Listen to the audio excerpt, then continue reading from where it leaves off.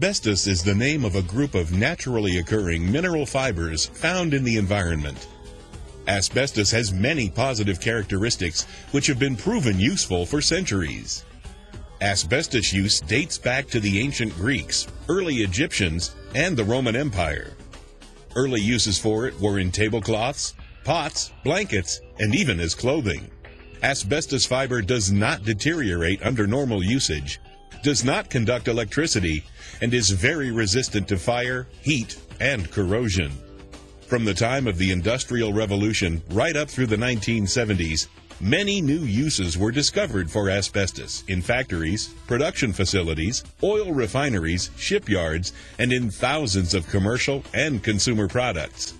Asbestos has been used in paper products, paints, adhesives, insulations, cements, automotive parts, protective clothing, roofing materials, toasters, popcorn poppers, slow cookers, and in many other products.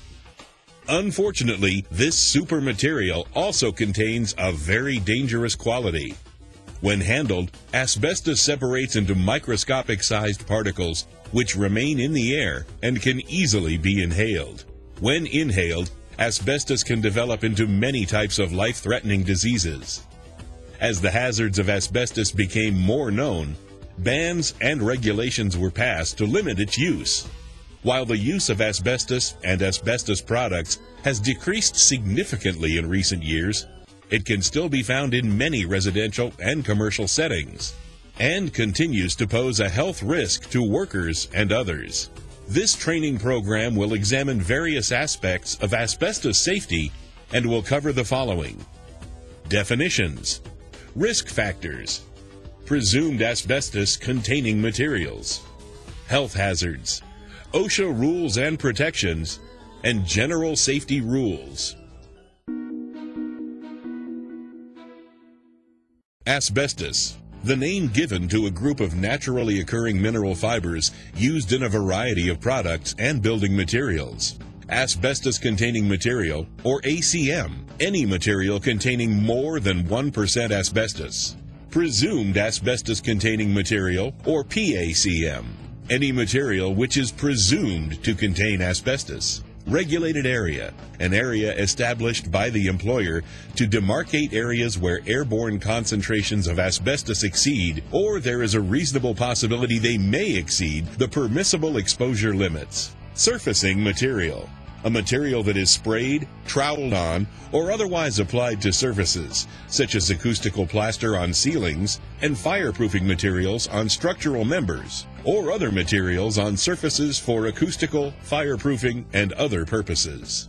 Thermal System Insulation, or TSI, an ACM applied to pipes, fittings, boilers, breeching, tanks, ducts, or other structural components to prevent heat loss or gain.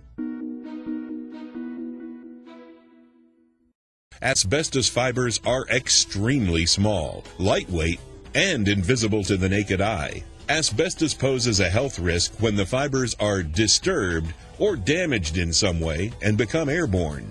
Once airborne, the fibers can remain in the air for long periods of time and then be inhaled.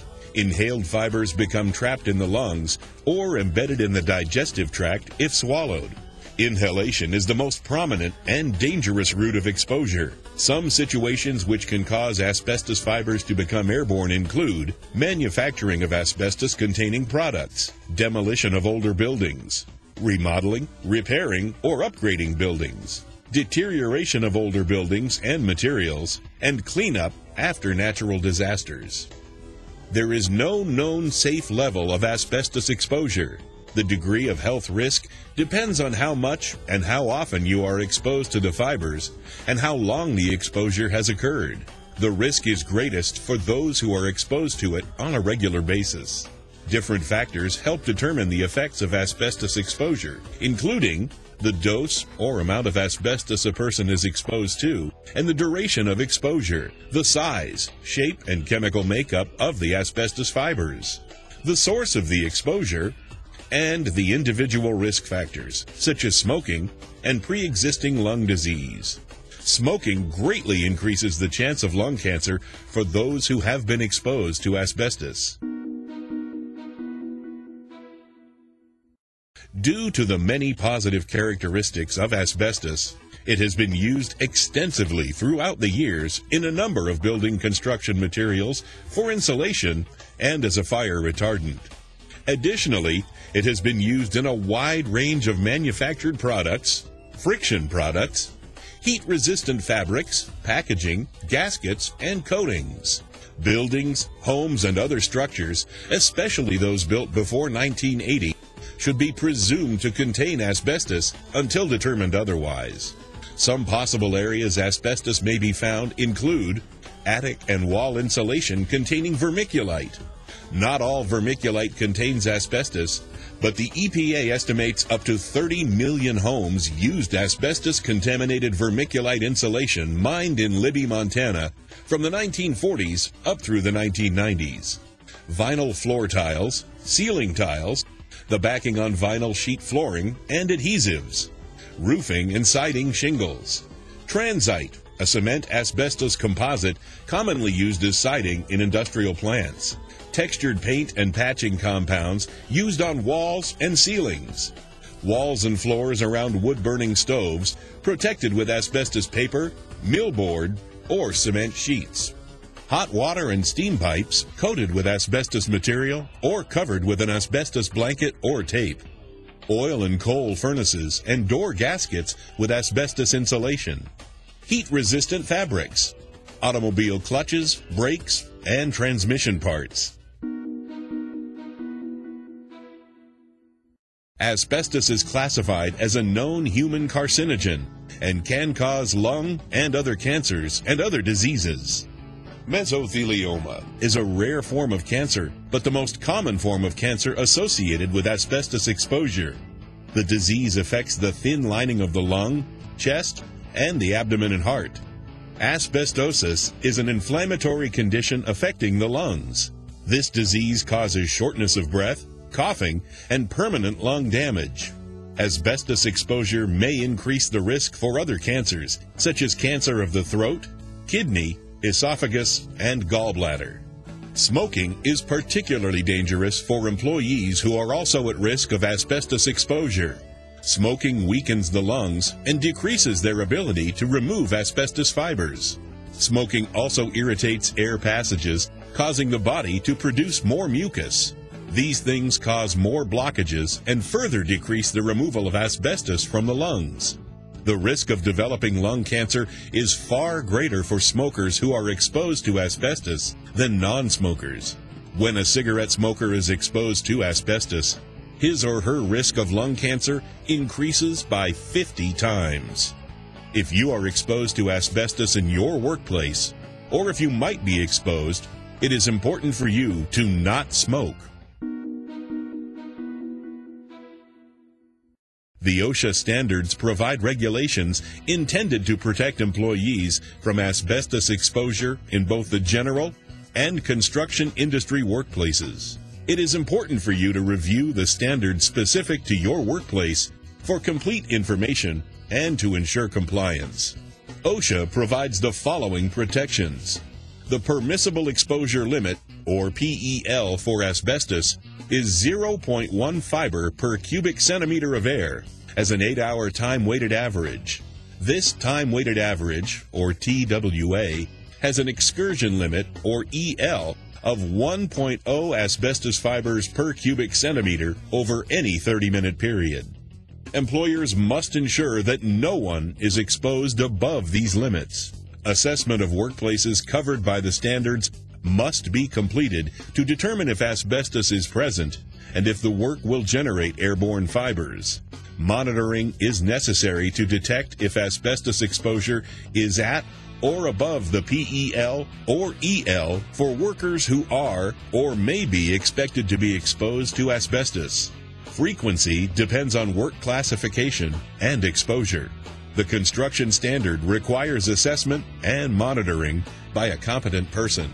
If the exposure has the potential to be above the PEL or EL, employers must use proper engineering controls and work practices to the extent feasible to keep it at or below the PEL or EL.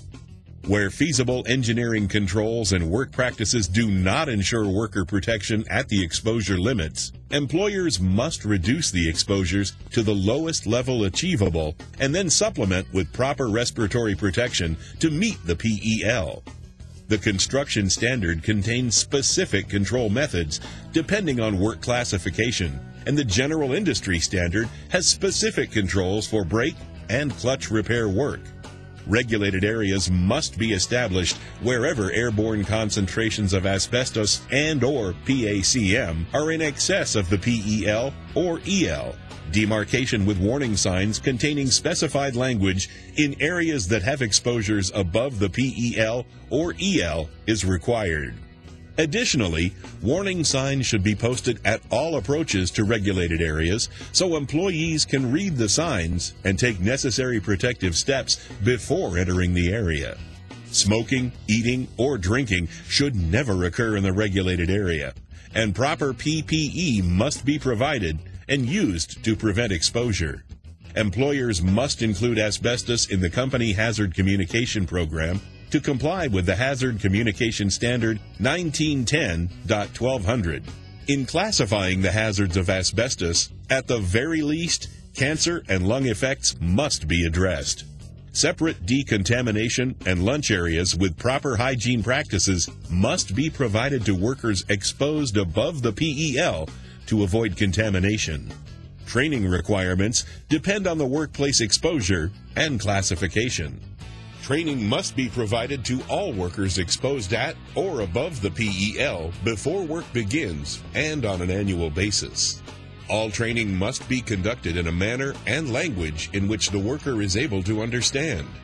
Workers who perform housekeeping operations in buildings with presumed asbestos containing materials, but not at the PEL, must also be provided asbestos awareness training. Medical surveillance must be provided for workers who engage in certain classifications of work or experience exposures at or above the PEL in construction. Medical surveillance requirements are different depending on the industry. In general industry, medical examinations must be provided for workers who experience exposure at or above the PEL. Records must be kept on exposure monitoring for asbestos for at least 30 years, and worker medical surveillance records retained for the duration of employment plus 30 years. Training records must be kept for at least one year beyond the last date of employment. OSHA has also mandated certain procedures regarding the cleaning of asbestos contaminated areas, surfaces, and floors. These housekeeping rules are applicable to both the general and construction industries with little variation between the two.